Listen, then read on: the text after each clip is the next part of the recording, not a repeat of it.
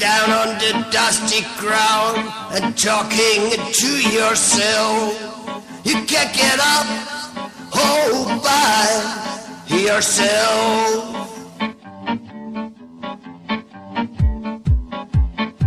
But now you're stuck to me and I'm stuck to you, girl. But now you're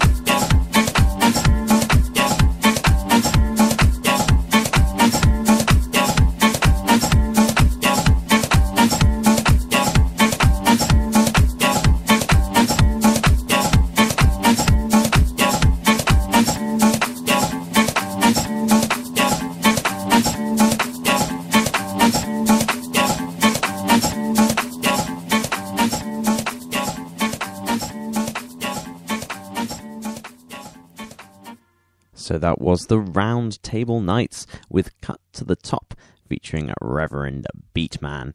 That track is from their 2011 album Say What, and you can check out the uh, more stuff from Roundtable Knights by heading over to their SoundCloud. I know I put a lot of uh, emphasis on that say what there. It might have seemed a little bit hammy to some of you, uh, but as it's written, it's say what with a, a, question mark and then an exclamation mark. So I feel that I brought that forward uh, in saying the name of that album there. Now, next up, we've got a track from Three Bullets, and it's called I Got the Swing, and it's from their Downtown EP.